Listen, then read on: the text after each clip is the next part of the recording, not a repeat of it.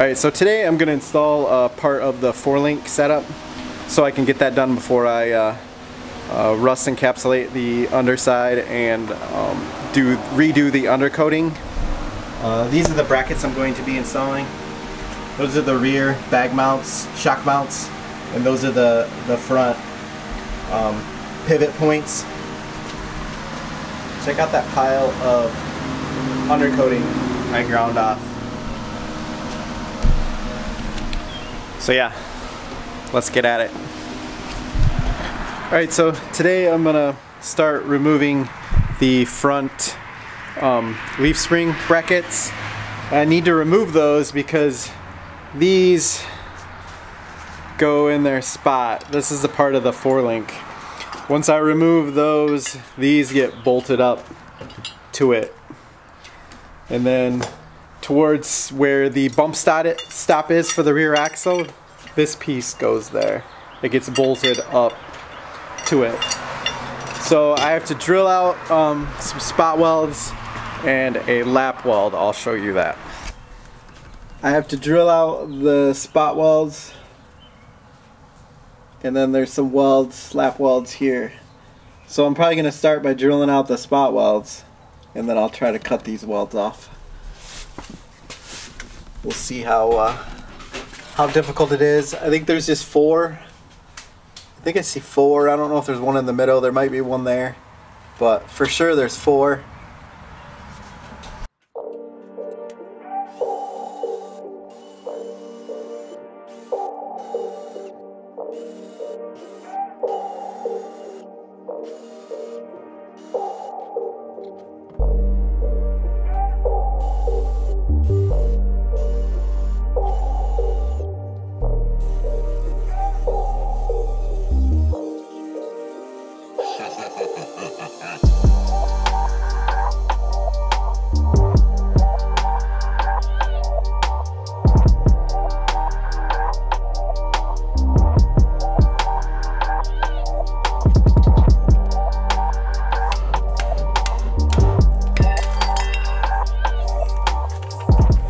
Alright, so here's one side out. There is uh, five holes. One, two, three, four, five, and then it was welded. Welded here, here, and then on the, the front portion here.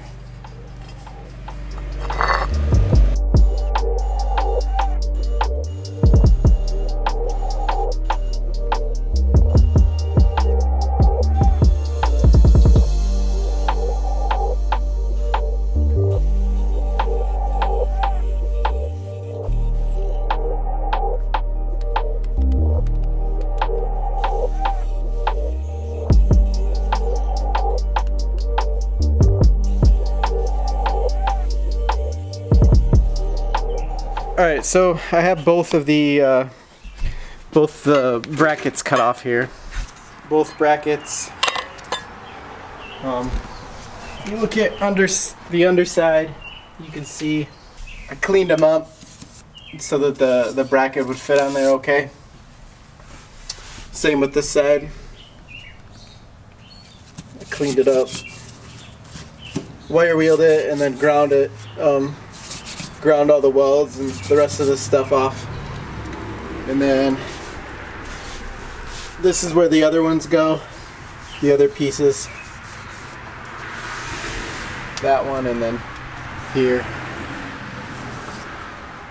So now I have to take the the pieces and clamp them clamp them up to this so then I can mark my holes that I have to drill out. There's so there's eight eight holes I have to drill into this and then eight I have to drill into this side.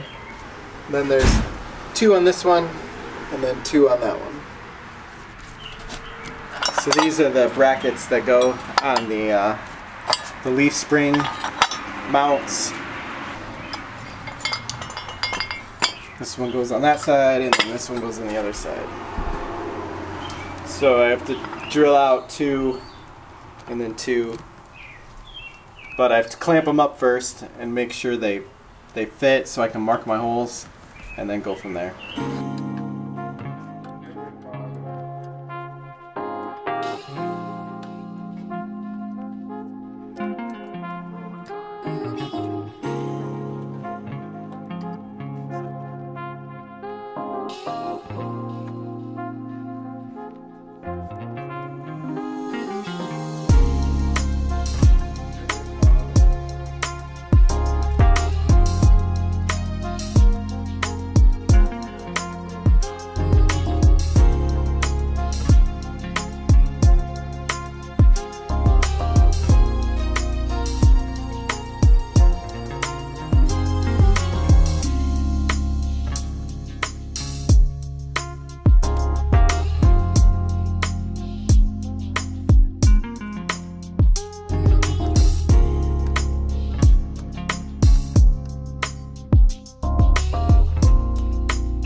All right, so now I have all the holes marked. Now I just gotta try to drill them. Um, I'm gonna try like a smaller drill as like a pilot and then come back through and ream them open for two, three eighths. So we'll see how that works, but that's what I'm gonna do next. All right, so I didn't video it, but I ended up um, drilling out the all the holes I needed to drill out I ended up doing a pilot pilot drill and then I came back with a 3 8 and then drilled them out. That worked way, way better. Um, the surprisingly drilling up were the easy holes, but drilling the side ones, it was hard to get enough leverage to drill them out. But I have both both sides done. There's the other side. And then I ended up going back through and doing a bunch of uh, doing a bunch of undercoating stripping which took me a good couple hours. I went through and tried to finish getting the last of it off. Because after I after I drill out all these holes um, I plan on uh, getting it ready to undercoat it before I install the four link because I want to be able to I want to be able to uh, clean it up good and have it uh, rust proofed and then I'll paint it with the rust encapsulator and then undercoat it. Um, I plan on masking masking off areas and just uh, rust encapsulating and then undercoating around it just so I don't have undercoating on these mounting points um, both sides. I still have to do the the rear bag shock mount um, that goes here on both sides. I'm going to uh, work on doing that today.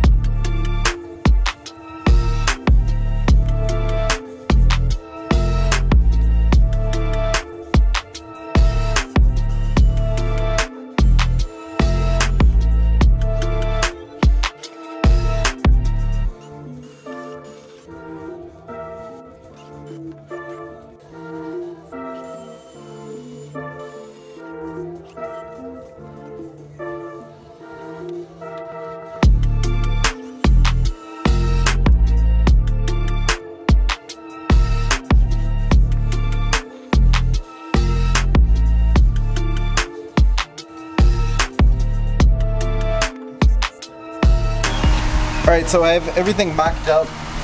Um, bolts put in. They're not tightened down, they're just put in place. I have the 8 there, this one, the two, this one, the eight, and then this one, the two. So that's pretty much all I had to do um, as far as mounting, was putting those on. So I already have all the bolts in position, so I just wanted to do that before I did the undercoating. So yeah, glad I can knock that out. Of, So that's done. On to the next thing.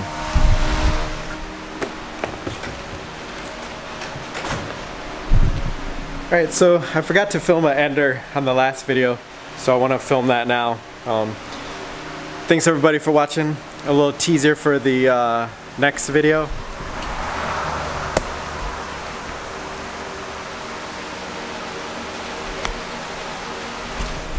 Finally got around to doing the other underside, so stay tuned and I'll see you in the next one. Thanks everybody for watching. Bye.